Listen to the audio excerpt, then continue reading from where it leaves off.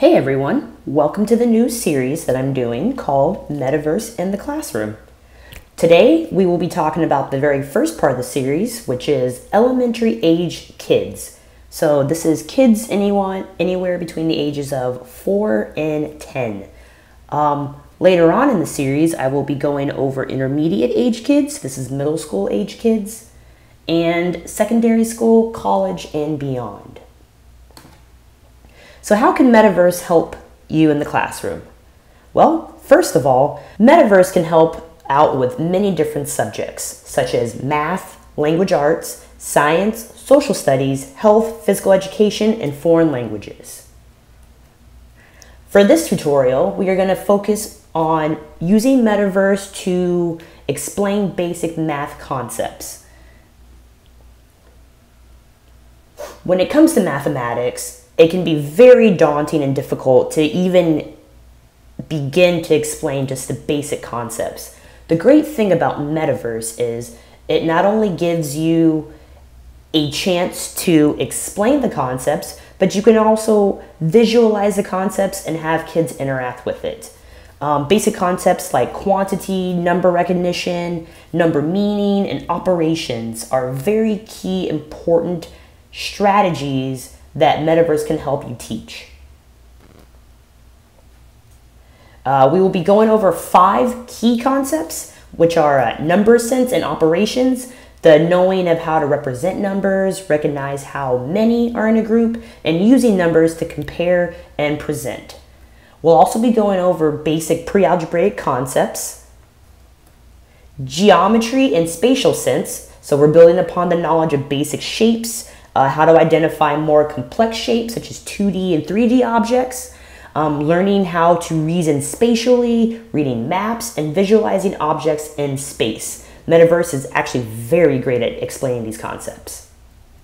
We will also use geometric modeling to solve problems. For the first tutorial, it'll be a two-part series over odd numbers. We'll be using character blocks, YouTube scenes, camera scenes, leaderboard blocks, and give item scenes. So let's begin. Part one of this lesson, we will be talking about odd numbers. How to detect odd numbers. So we have Aquaman here, and he's talking to the kids.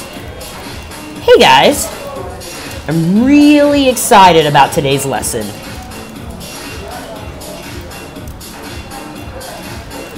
We will be learning about odd numbers. Do you know what an odd number is?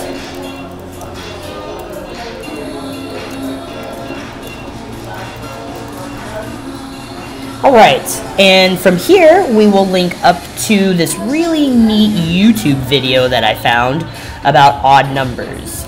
So next we'll want to create a YouTube scene, copy and paste,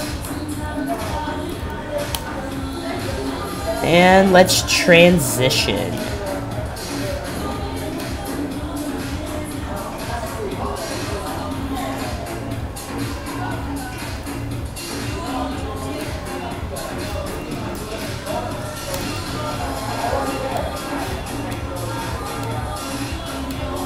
Alright, transition to the next scene.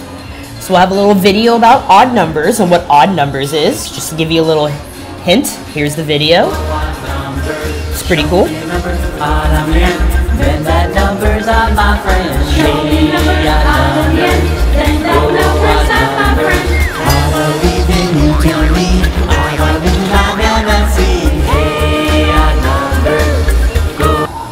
Alright, hey, odd numbers. Uh, good for kids. Maybe a little annoying for us adults, but kids will love this. So next we'll want to do another character scene. Hey, odd numbers. Can you recognize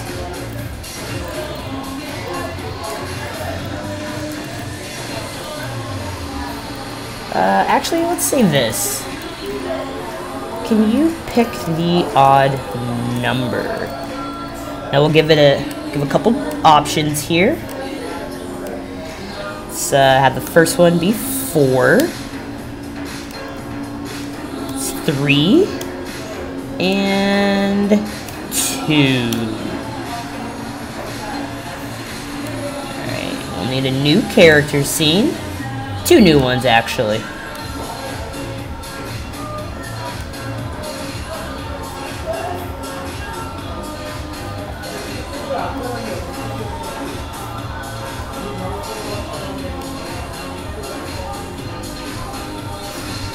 And let's link these.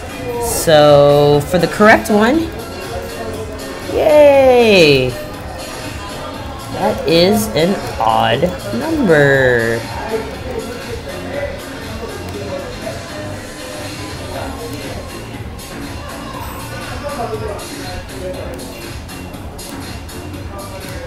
Transition to scene four. Now for the incorrect answers, close.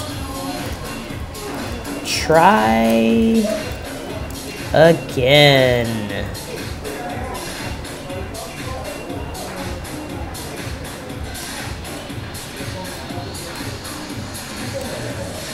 To scene five.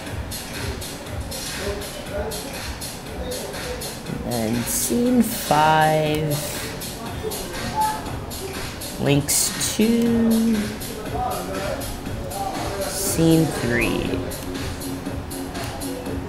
So just loop back and then have the student answer the question again.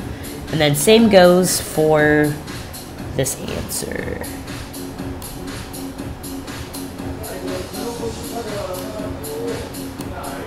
Oops, scene five. All right, perfect.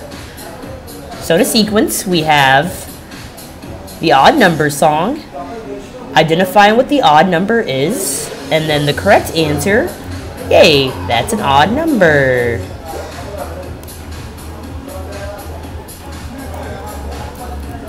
Next, and we'll transition to a scene. Yay, so the student has, has identified what the odd number is. From here we will go into a lesson where you can have the students pair up together as a team and then watch the other videos. So I have a number of Schoolhouse Rock videos here about different odd numbers, three, five, seven, and 9.